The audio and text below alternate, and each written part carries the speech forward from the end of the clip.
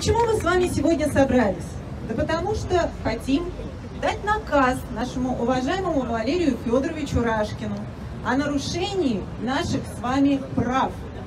А права наши с вами нарушаются, когда работодатели принуждают вакцинироваться, когда они принуждают вас предоставлять им информацию медицинскую, которая составляет медицинскую тайну.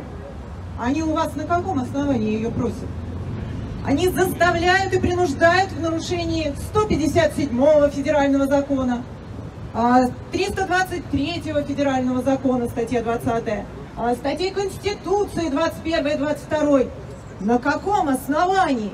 Кто им дал право нарушать законы, Конституцию и, самое главное, ваши права? Нарушаются наши с вами права и когда тех людей смелых, которые встают на вашу защиту, начинают преследовать уголовными делами, административными, сажают в СИЗО.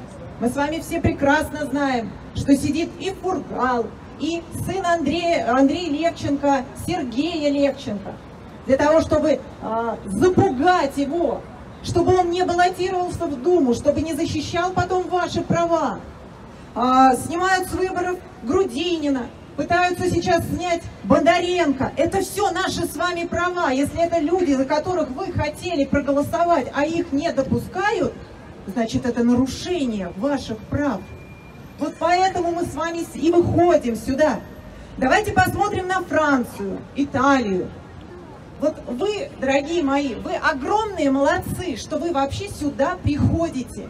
Вот вы представьте, что вы, каждый из вас, мэр, губернатор, президент, и вам люди пишут, вот пишут они обращения вам, как мэру, как губернатору, вам страшно от того, что вам пишут? Нет. Петиции, когда создают в интернете, вот часто да, пишут по любому вопросу, а давайте петицию создадим, да давайте создадим. Вам, как мэру, как губернатору, как президенту, страшно от того, что кто-то где-то какую-то петицию создал, и пусть даже сотни тысяч собрал. Вам страшно? Нет. А вот когда люди выходят на улицы, когда вот так вот собираются на встречу с депутатом, почему ведь митинги-то да, запретили? Да потому что они боятся людей на улице. Только людей на улице они вынуждены слушать. Что мне нравится во Франции? Ну вы посмотрите, часть людей вакцинировалась, часть нет. Выходят на митинги и вакцинированные, и нет. Вот что такое солидарность. Когда люди выходят друг за друга, неважно, да, вакцинировался один человек, он, он захотел, это его право. Но другого соседа, друга не смеют нарушать права. Поэтому они выходят все вместе, молодцы. И нам надо с вами брать пример. За свои права нужно бороться. Их нужно отстаивать, потому что те люди, которые садятся а, в кресло власти, они считают, что им все дозволено, им все можно. А наша с вами задача их остановить, показать, что нет, вы должны действовать в интересах людей. Сегодня звучало, что да какая разница, да, там и многие пишут, КПРФ или Единая Россия или другие партии. А я вам объясню, какая разница. Вот пенсионная реформа. Берем один конкретный законопроект. В Государственной Думе кто голосовал против пенсионной реформы? КПРФ кто объединял э, всех людей, созывал на митинги по всей стране? Депутаты КПРФ. Мало, к сожалению, пришло. Вышли бы тогда миллионы. Откатила бы Единая Россия назад и не приняла этот законопроект. Мы стали депутатами Московской городской думы. Московская городская дума, имеющая право внести законопроект в Государственную думу. Первым делом мы, фракция КПРФ, написали законопроект об отмене пенсионной реформы. Потому что у нас в парламенте, благодаря тому, что вы в 2019 году выбрали нас, а, у нас получилась треть парламента, плюс еще есть некоторые другие оппозиционные партии.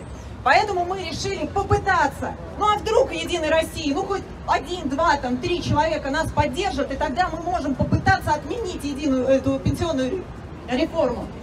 Написали законопроект, внесли, все оппозиционные партии поддержали наш законопроект.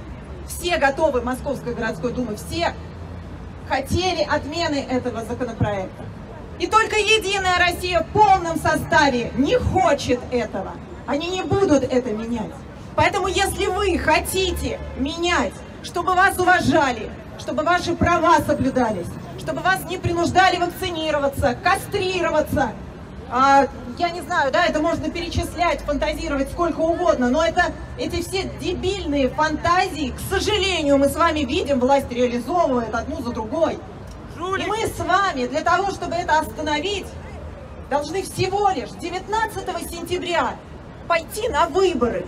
Вот просто все вместе, со своими соседями, друзьями, знакомыми, всем вместе пойти дружно на выборы. Единая Россия побеждает, когда вы не приходите на выборы. 80% людей, которые против а, вот этого беззакония, беспредела, остаются дома дома, на дачах, отдыхают, думая, что их голос ничего не решает. Эта власть вам внушает, что ваш голос ничего не решает, чтобы вы остались дома, на даче. Посмотрите, сколько сейчас пишут, что все решено, все, ой, видеонаблюдение отменили, значит, все точно сфальсифицируют, все заранее известно, ничего не известно. Если бы было известно, то таких депутатов, как я, как Ступин, да, в Московской городской думе, Зубрилин, нас всех бы не было. Но ничего не решено, понимаете? Когда вы приходите, то власть, она может сфальсифицировать на мизерной явке, на вот этих 20%, они, им достаточно 50 бюллетеней из непришедших людей, которые остались на даче, в отпуске, вот их 50 бюллетеней взять и положить за Единую Россию, они победили. А если вы пришли, если вы проголосовали лучше за КПРФ, ну хоть за кого угодно, они уже не могут этого сделать, понимаете? А если вы еще и пойдете наблюдателем, чуть больше своего времени потратите, так вы тогда вообще лично проконтролируете честный результат. Давайте с вами бороться за наши с вами права, чтобы нас с вами, как людей, уважали, они обзывали, как вам сейчас, да, единороссы, один другого умнее, да, что только не придумают, какими только эпитетами народ не обзовут.